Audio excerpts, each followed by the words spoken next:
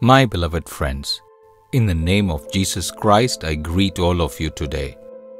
While we walk with Jesus, He gives us wonderful guidance through His Word and leading us in our life, right? Is it not a great joy when we realize His guidance? He teaches us a beautiful thing because He is our Father. Another side, He is our Mother. He is leading us like His own children. You are either a son or daughter. Is it not a great joy? Is it not a great blessing? Today, God is giving you a beautiful advice. In Matthew chapter 5 verse 5, Blessed are the meek for they shall inherit the earth. Do you know what does that mean? You should be meek in character. That is what he says. Do you know where he said this? Jesus said this in Sermon on the Mount, which is famous worldwide. It is written in Matthew chapter 5, 6, and 7. I am sitting at that place now and sharing this word to you. The church you see behind me is constructed at that place. This is in the mountain range of River Galilee. In this place, when Jesus gave the Sermon of the Mount, he said very beautifully, Blessed are the meek, for they shall inherit the earth. Be meek. When Jesus spoke about himself, he said, Learn from me, for I am gentle and meek in heart. Jesus is a very gentle person. We who follow him shall also be gentle like him, right? Did you speak rudely to anyone?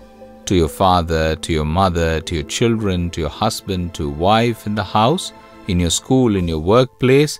Did you speak to anyone very harsh, very rudely, very angrily? In the Bible it says, Let your gentleness be known unto all men. Answer gently.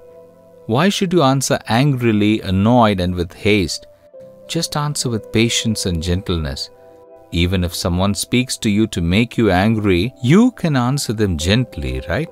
It will surely bring a change within them.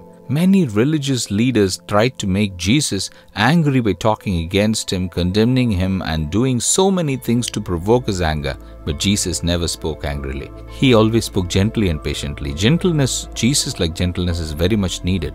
I have prayed a lot, Jesus, make me gentle like you, because I had been very angry, annoyed, and stubborn in my childhood. I was like that by nature. But as I kept looking upon Jesus and prayed, and kept on asking him, Please make me gentle, please make me gentle, please make me gentle like you. God very graciously helped me to get His nature. Are you gentle like Jesus? Then you will always have happiness in your heart. Jesus will lead you beautifully. Father, please give your gentleness also to us. We should also speak gently and walk meekly.